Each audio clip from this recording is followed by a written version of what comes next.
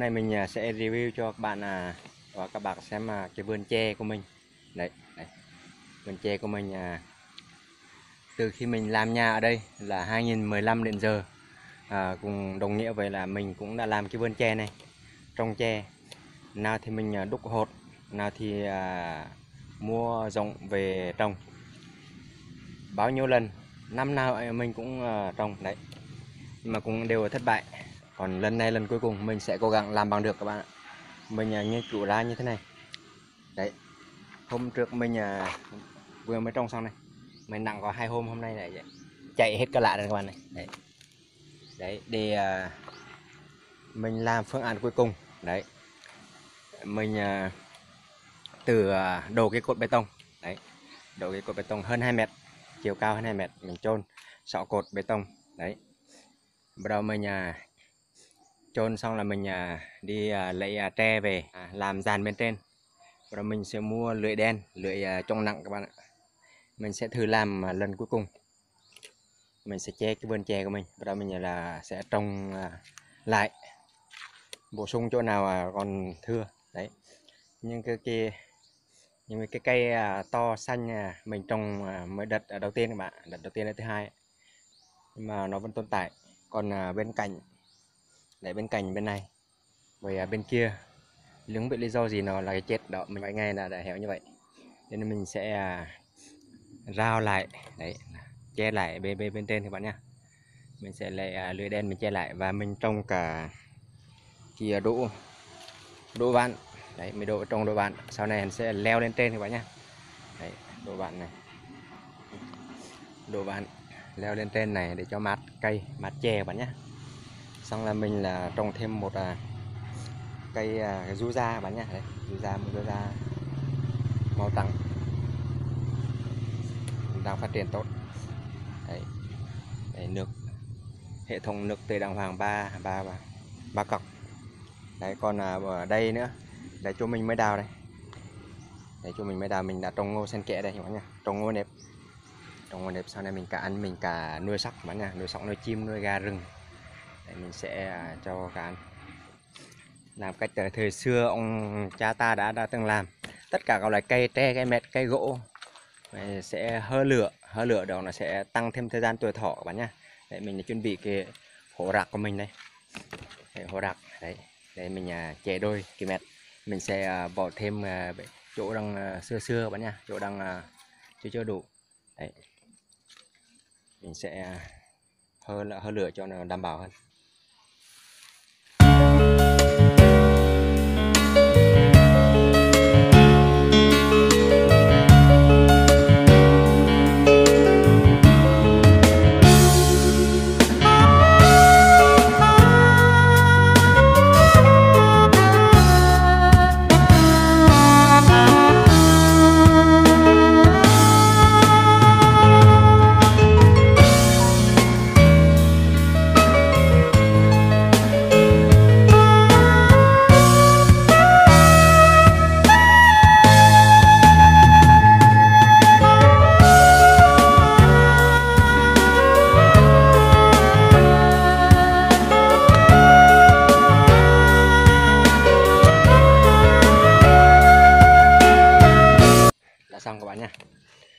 Thêm một thời gian hơi lửa đấy.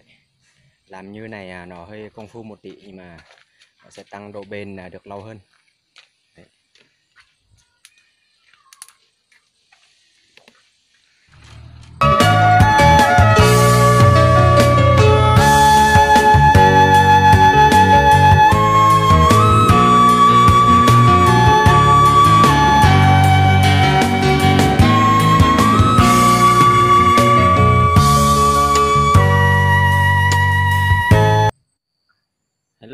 Chào à, các bạn sao mọi người nhé. Đây hôm nay à, trời à, mát dịu, mình sẽ à, bỏ cái lưới lưới đen các bạn, nhé, lưới đen là để che nắng mưa cái vườn tre của mình mọi nhá. Đây, hôm trước mình đã làm cái dàn đây, đấy, mình đã làm cái dàn à, xong xuôi hoàn chỉnh, đấy. Chỗ này mình cũng đã quét cái sơn à, trồng rỉ quá bạn nha, đấy, sơn trồng rỉ màu đỏ sang xong xuôi à, chè của mình à, nắng ở hai ba ngày đấy. Đa số nó đã, đã, đã chết. Đấy. là đã héo khô héo ấy bạn nha. Còn à, cái cây độ ván à, của mình à, cũng đã lên đẹp các bạn nha. Đấy, đấy. độ ván mình. Sau này cho lên à, cái dàn à, chỗ mình làm đây. Dàn chỗ mình làm là cho mắt cây chè các bạn nha đây là cái góc của mình, đấy, mùa hè. Cái cọc thường thường cái cọc thì à, nó chua nhiều, chua đẹp này bạn nhá. Nhưng mà cái cọc của mình à, mình may mắn thật là mua được cái cây trồng à, ăn rất là ngọt các bạn nhá. Càng già nó càng ngọt. Đấy.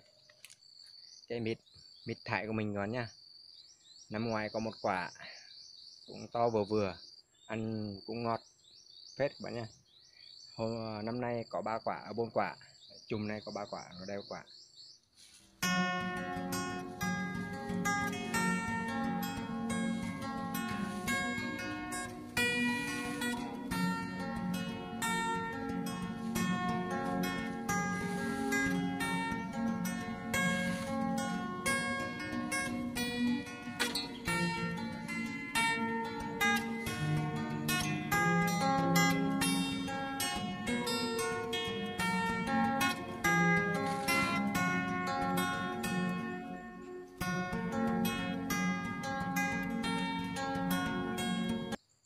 Đây các bạn một hồi làm mà mình đã che đấy mình đã che à, xong là hoàn thành à, cái phần mái che của mình các bạn nhá. Đấy chỗ giữa này mình sẽ là để trồng các bạn nha vì đây nó có cây du da của mình đấy.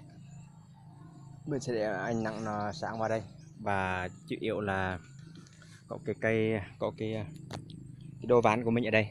Đấy. nó sẽ leo lên trên này các bạn nha còn mình sẽ à, che lại à, đấy, bên này thôi. Như này nó đã, đã mát mát dịu hẳn các bạn nhé. Đấy. đấy. Sau này mình sẽ trồng sen à, kẽ ngô và trồng thêm chè các bạn nhé. Mình sẽ đầu tư đợt này mình sẽ làm cố gắng làm bằng được.